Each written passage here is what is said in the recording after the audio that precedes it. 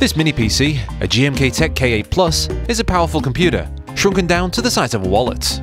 With a fast Ryzen 7 processor at its core, we'll test it with Windows applications, a handful of games on Steam, including AAA titles, high-end emulation, Batocera, and also a teardown. Does this mini PC have enough juice, or will our jaws drop to the floor? As this certainly has the potential to become my main. Welcome to Team Pandory. Subscribble. Here's what came, let's open it up. So this mini PC came for purpose of video review. No cash has been exchanged, and all thoughts are our own. This one is the K8 Plus 32GB 1TB model. And these boxes are quite tight. Ah. Inside the box we get the mini PC, and there's a removable sticker showing us how to open the lid. There's a card with manual inside, and this one has many languages. There's only two pages for each, so there's not really much information included in here. Just tidbits like specs and stuff.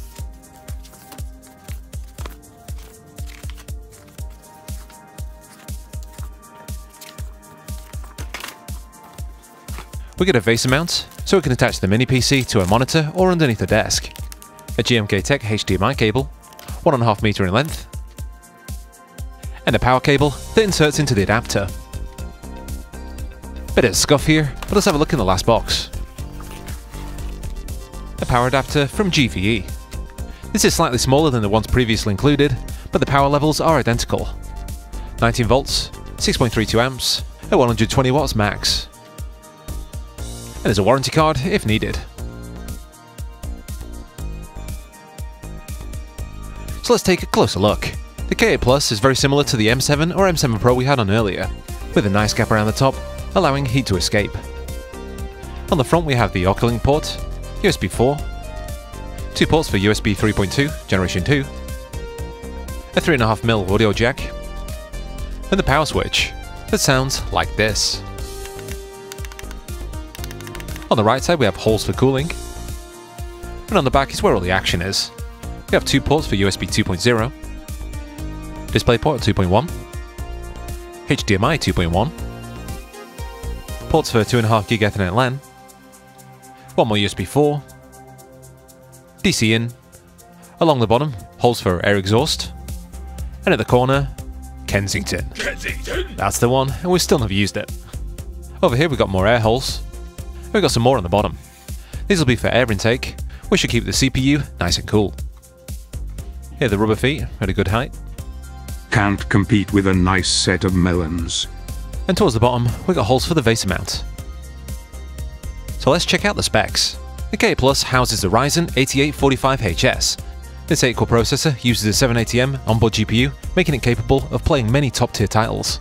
The addition of Oculink future-proofs the design, in case you wanted to add a full-size graphics card later. This model has 32GB of DDR5 and a 1TB PCIe 4 NVMe, with Windows 11 Pro pre-installed, so as soon as you get it, it'll be ready to go.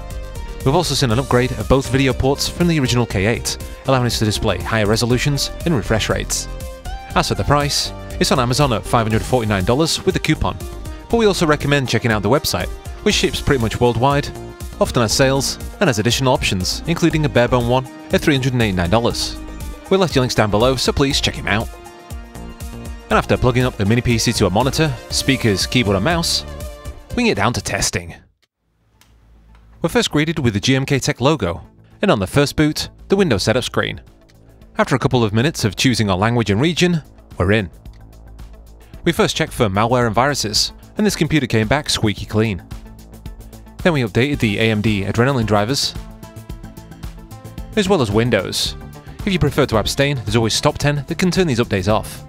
As for tools and programs, the K8 Plus is pretty much capable of anything, ranging from standard word processing and office tools, to production, such as 2D graphics like Krita, using it as a digital audio workstation, or even video editing. Of course, internet browsing is perfectly possible, so we can watch our favourite tunes, do some shopping, or even stream videos on Netflix. And it runs as smooth as butter. Here's some of the Netflix stats. And 4K YouTube. No complaints here. Moving to the benchmarks, the K8 Plus has a definite boost compared to the previous K8s. Then when raising the TDP from 54 to 65, the Vulkan score floors every mini PC you've had on. TimeSpy shows a similar picture, but as the 7940HS has a 100MHz boost, the K8 Plus benches slightly lower. It can actually be seen as a newer version of the 7840HS, with equal clocks of the GPU and CPU, but with a 60% boost in AI performance. Moving to Crystal Benchmark, we got some great speeds from our 1TB storage, and teamed together with low latency, should be great for music production. When testing for Wi-Fi strength, we get a good 80%. We think that they could have used a better adapter that supported Wi-Fi 6E. When it comes to gaming, this thing is no slouch. It ran every 2D game we threw at it, and as it has plenty of power, it doesn't need to push as hard, so power consumption is very low. Moving on to some esports titles now, Dota 2 runs really well. We're at 1080p best looking, and FPS stays up around 80 for the entire game. Rocket League with a frame rate uncapped is a good test to see if there are any thermal throttling issues with the memory. And as there's no slowdown, there's no problem.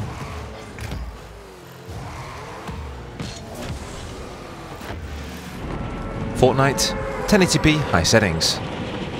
As we raise the virtual video memory to 8GB, it definitely helps to keep the game running smoothly while many textures need to be loaded up. And once we hit the ground, this game is running at over 100 FPS.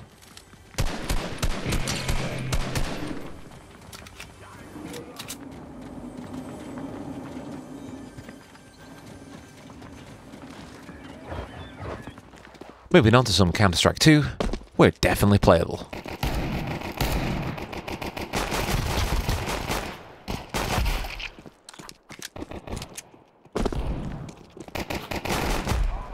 Gaming Super Start.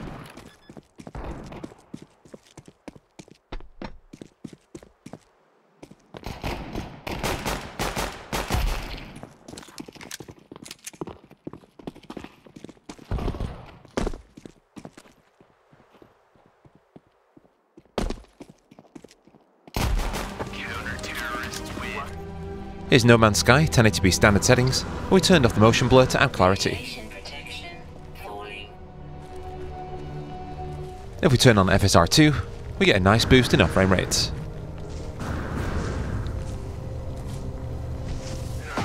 Tekken 8 at 1080p medium settings gives us full speed.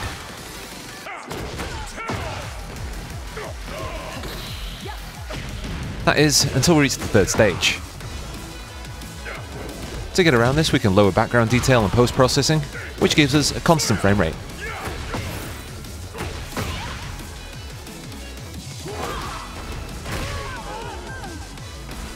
Let's move on to the AAA games.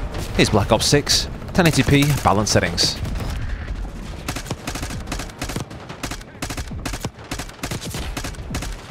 If we turn on FSR 1, we get over 70 FPS.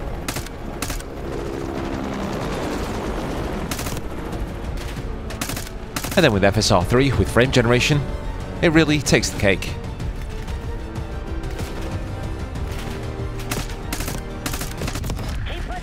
And this can also be brought over to multiplayer.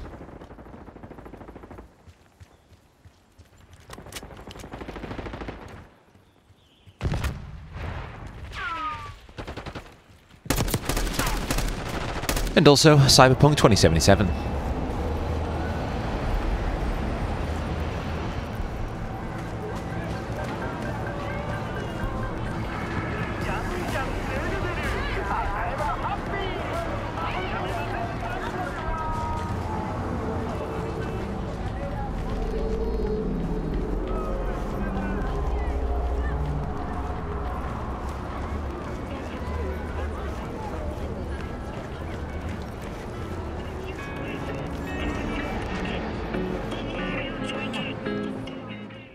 When it comes to higher end emulation, the K8 Plus can definitely hold its own.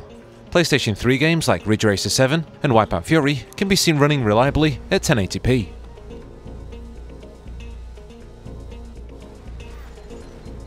Wii U, as well as even the Nintendo Switch is also possible.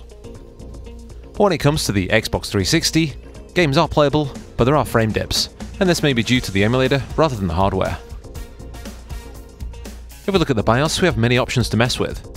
In the power mode select, we can adjust TDP to 35, 54 and 65, or we can disable IPU control, turning off Ryzen AI if required.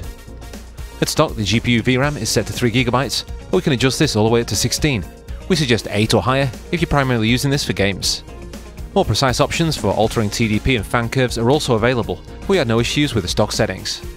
Secure Boot is here if you wanted to play Valorant, and of course, we can load up other operating systems. Batocera Linux is a nice OS for emulating many systems. It looks similar to RetroPie, but as we're using a computer, it's much more powerful. Both Wi-Fi and Bluetooth adapters work out the box, as does the sound if we select this option. It's fully capable of playing arcade games like NBA Jam on Ice,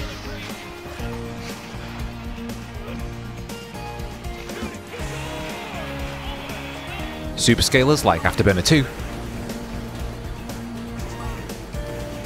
or even games from the Sega Model 3. This one's Daytona USA 2, Power Edition, and it's running full speed.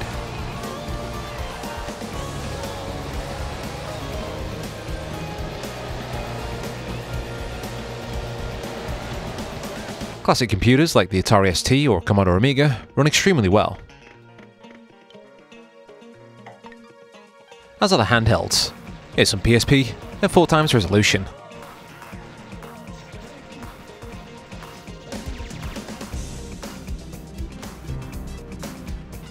And it handles God of War like an absolute beast.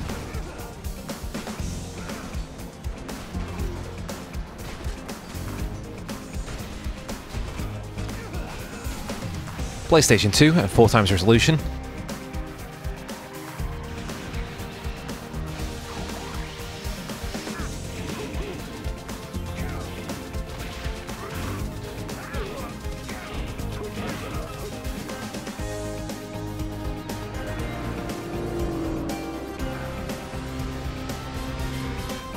We even tested some original Xbox.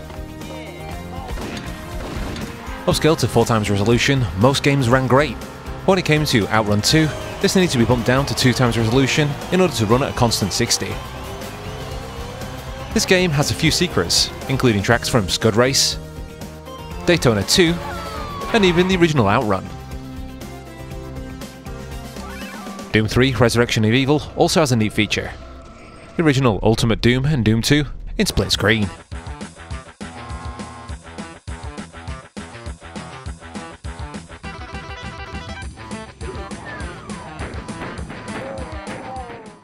Moving on to temps and fan noise, at idle, the CPU sits around 40 degrees Celsius, and it's whisper quiet. Pulling around 13 watts from the wall. Under a regular gaming load, CPU is raised to 71 degrees Celsius, and the computer is still barely audible. At around 83 watts. In order to max out fan noise, we set TDP to 65 watts and ran a 100% CPU and GPU stress test, and in this unlikely scenario, this is how it sounds using this much power. When it comes to opening up the K8 Plus, it's very easy. You just twist off the top, then the four screws in each corner. From here we have full access to the Wi-Fi adapter, memory, and the two NVMe slots. The storage included comes with a heatsink, but let's see what we've been given.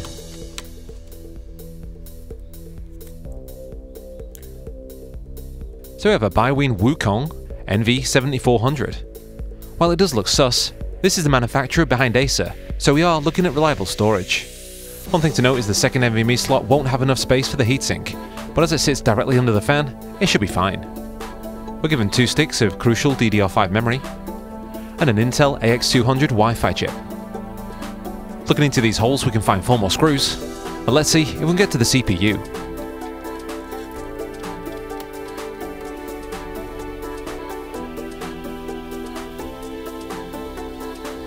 Ooh, hello. So here's the heatsink and fan for the CPU, and if we can take this off, it's easy maintenance. Just these four screws, and tape. Now this is cool.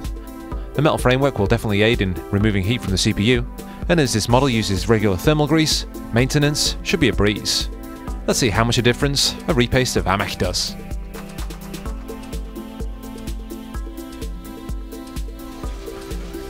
Considering it was good as stock, there are still gains to be had.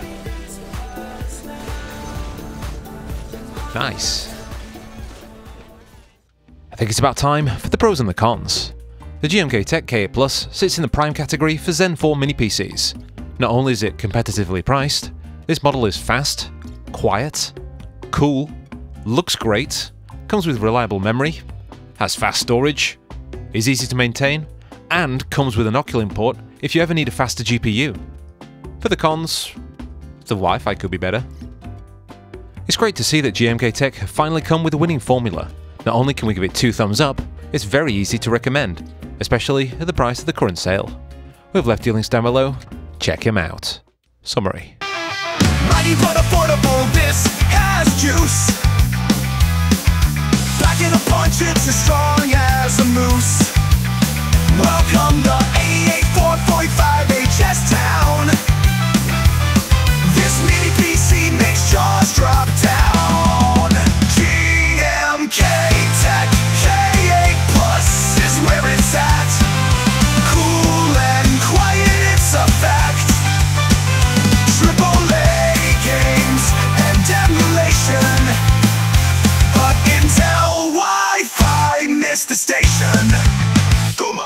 If you enjoyed this video, please give us a like.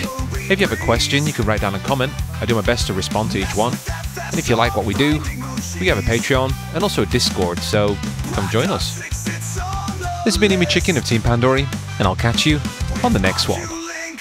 Ta-ra. Hey, it's me, John Luke. Give me a kiss.